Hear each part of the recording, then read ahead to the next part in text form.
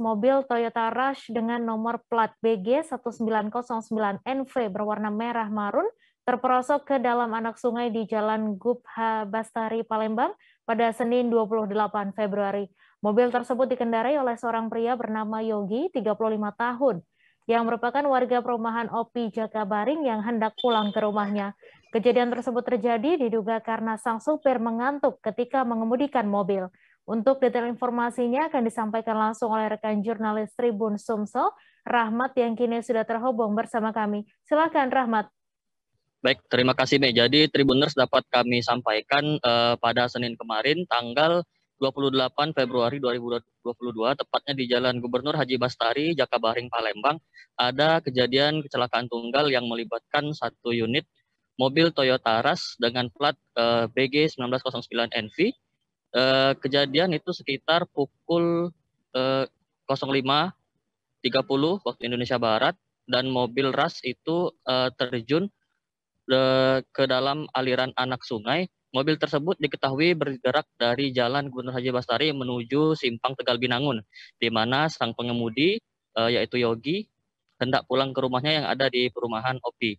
Untuk kondisi pengemudi sendiri saat kami datangi lokasi uh, tidak ada luka berat, hanya mengalami luka ringan. Polisi juga anggota Satlantas Polres Banyuasin juga dengan sigap langsung mendatangi lokasi.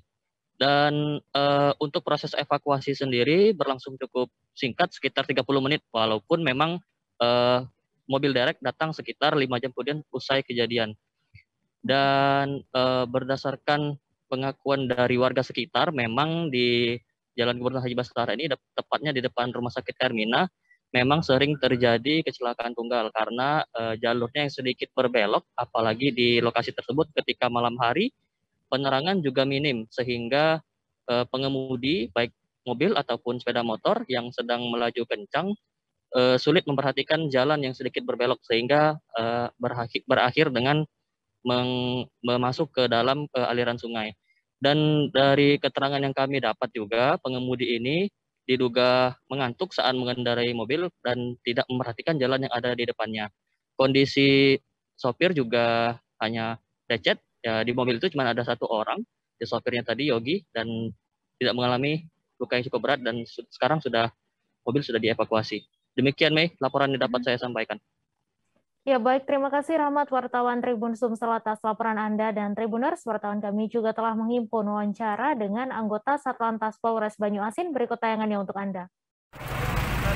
Pengendara mobil Toyota Rush ini dalam keadaan mengantuk, dia mengemudi kendaraan mobil Rush dari arah Jangkamarin tujuan ke Rambutan. Oh, ya, Sementara jalan ini persempitan.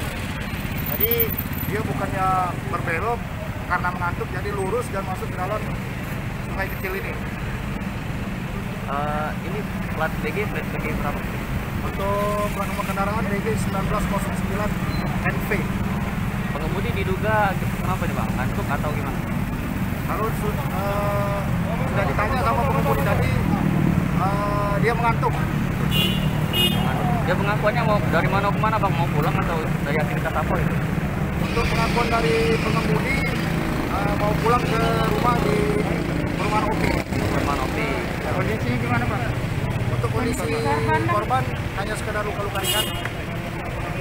Ada ada berapa di dalam kendaraan? Satu orang. Satu orang. Satu orang. Terima kasih sudah nonton. Jangan lupa like, subscribe, dan share ya.